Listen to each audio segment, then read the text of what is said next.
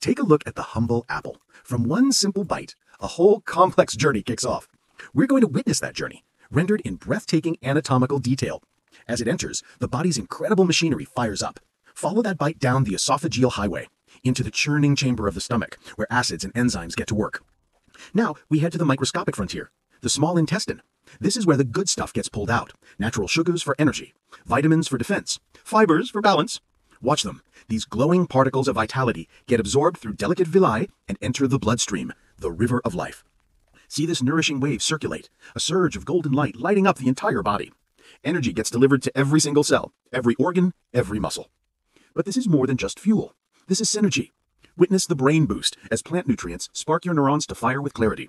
See muscle nourishment, where fibers strengthen with every pulse of that nutrient rich blood. Marvel at gut health, where soluble fiber helps cultivate a thriving, glowing microbiome.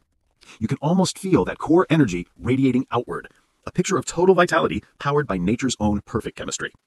Here's the thing though balance is everything.